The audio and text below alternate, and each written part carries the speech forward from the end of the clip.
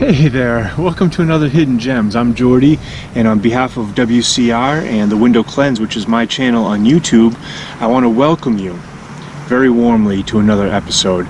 And if you have been enjoying and benefiting, mostly is what's important from the series and from what we've been talking about, then please subscribe to both channels. I can tell you this both channels are committed to helping you in your business. So make sure to subscribe, hit the bell if you are finding benefit in what you're hearing. Today we're going to be talking about uh, squeegee rubber. And we've been talking about a number of different basic parts of the squeegee, the handle, the channels, uh, the pole itself, the scrubber, the sleeves, but now we're going to talk about the rubber. And there's three in particular that I think are hidden gems. Number one is the wagtail. I've been using this um, out of the three. So we, what we have is the wagtail rubber. We have what's called the professional squeegee rubber. And then we also have the Pulex rubber. Uh, the two black rubbers are hard, and this one too is kind of a medium one, uh, probably on the softer side. But the the thing I love about the wagtail is that it just is very durable. So we're talking about quality and we're talking about performance. So you're not going to find that you're going to get lines uh, with this on your turns with the wagtail. And I've been using this for, let's see, I started using the wagtail four years ago. So I've been using this rubber for four years. It's a little bit more costly, okay? Keep that in mind. But it lasts. It really does. And uh, so you can see the price. You can see that it comes in a three meter or nine foot roll. And so you you will have to cut it yourself. But uh, people talk a lot about wagtail stuff. They talk about the high flyer. They talk about the combi. Uh, they talk about the wave and some of the other tools. But they don't talk a lot about the rubber. And this is a hidden gem, in my opinion. Moving on, we have uh, two rubbers that I've been testing out. This is the Professional Squeegee rubber. You can go to professionalsqueegee.com. Uh, the link will be below. Apparently, now I don't know if this is just for their website, but they display their rubbers in different colors yellow, orange, blue, red, black.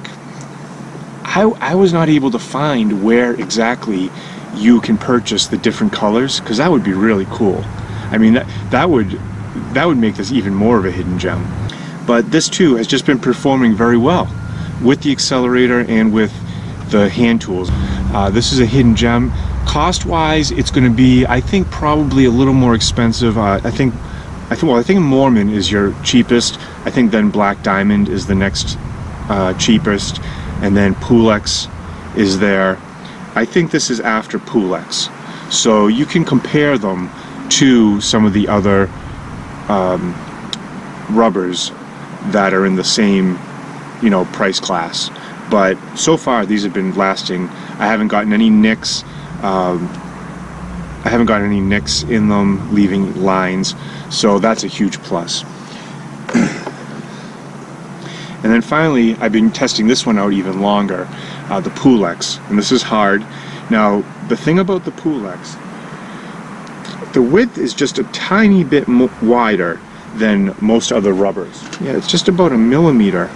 It's about a millimeter uh, wider than most other rubbers. Most other rubbers are the same size, same width. This too has been performing very well, and I've been using it in a number of different channels. In fact, I've used it in the the Legend, I've used it in the Ninja, I've used it in the Super Channel, I've used it in the Alamax, I've used it in the Stutzy, and I've used it in the Technolite, I've used it in the S Plus channel, um, and it's performed well in all of them. So I don't hear a lot of people talking about the Pulex rubber. I know there's some of you uh, out there that do like it, but as far as the Pulex brand in general, I've never really heard a whole lot about it, and I found that the whole brand the whole line of products, especially your squeegees and your rubber, are really good. Another note about squeegee rubber. Now I searched high and low on the on the internet to try to find exactly what the ingredients are and the process for each brand of squeegee rubber and I really wanted to bring that to you but uh, I couldn't find anything. I couldn't find it. It's like it's all. I, it, even says on its website that it's a guarded secret, their formula. So, you know, I really wanted to be able to tell you exactly why one squeegee is better than another uh, rubber, or why one lasts longer than another, or why one performs better than another. But I just couldn't find the information. What I will say is that Pulex at least had a page where I think it listed 10 things uh, that went into the process of making its rubber. So that was pretty good. I think uh, Professional Squeegee also had a little bit of information on their website. Unger had a little bit of gen general information on their website. So that is the hidden gems for today. We're talking about rubbers, and in conclusion, in summary, we have the Wagtail, we have the Pulex Hard, and we have the Professional Squeegee Hard. These, in my opinion, are all hidden gems. Uh, these two, because of uh, price, performance, quality, and this one because of performance and quality. And there are three rubbers that you don't hear a lot about. So I thank you for your attention today and for tuning in. And again, uh, be sure to check out the window cleanse and check out some of the other videos on window cleaning resource here because there's a lot of uh, old, if you want to talk about hidden gems, there's a lot of old older videos that really have a wealth of knowledge in them, especially uh, some of the ones that feature Chris Lambrinides in it. They really can help you in your business and in your marketing. So uh, check it out, and we will catch you on the next episode which uh, we're running out of episodes here. We're about to wrap up this series, so we may just be looking at a grand finale for the next one. But stay tuned, and uh, we will be in touch. You have a great day in your business.